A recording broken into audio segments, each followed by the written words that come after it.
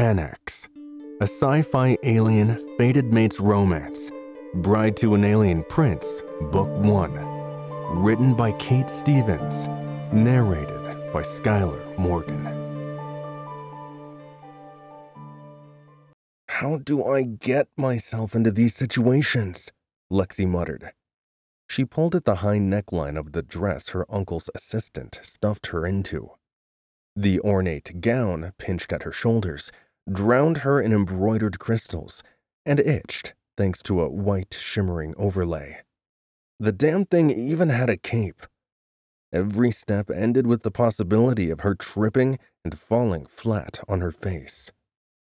Her uncle's hand dug into her arm.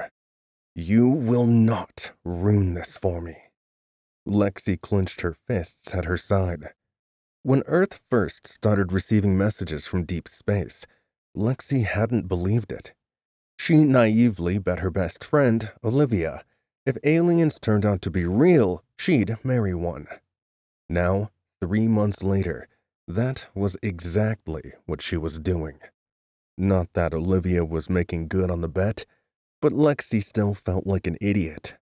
Smile, and don't speak unless spoken to, Uncle Grayson said as they reached a massive set of carved doors.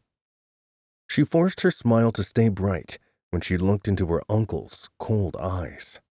Grayson Seymour, CEO of Gravitas Technologies, billionaire, and all around asshole, had made first contact with Earth's new visitors. When their ships landed, he had personally greeted them cameras at the ready to document the moment. Her uncle wanted a place in the history books, and he'd gotten it. Not only for that first meeting, but for what came next, too. Like the rest of the world, Lexi sat glued to her TV as her uncle boarded the ship.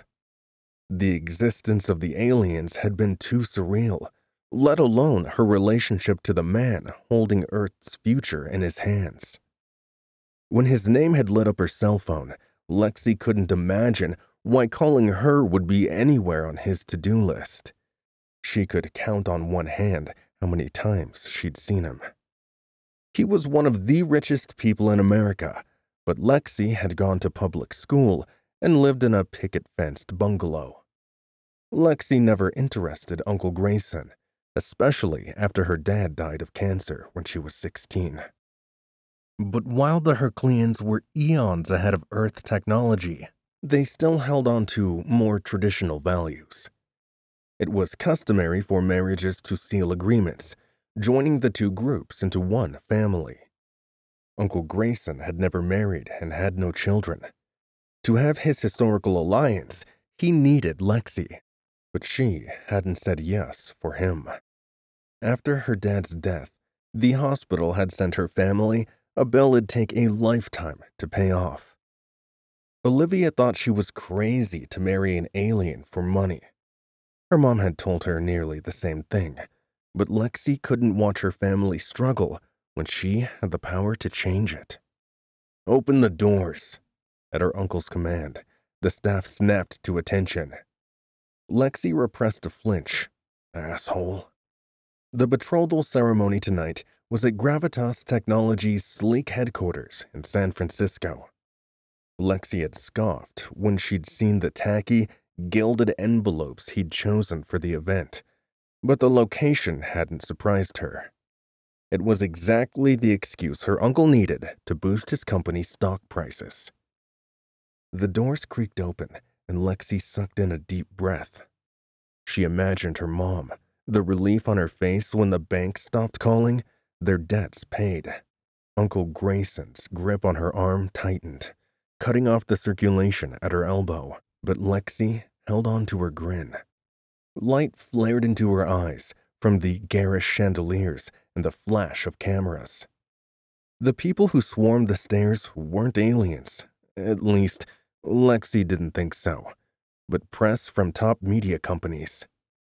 Her uncle wanted the event televised across the galaxy. The crystals on her gown caught the light and turned it into a blinding sparkle. She probably looked like a lamp. Lexi tried not to break down into hysterical laughter.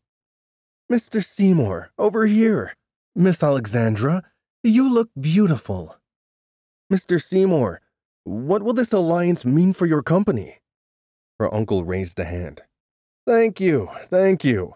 No questions at this time.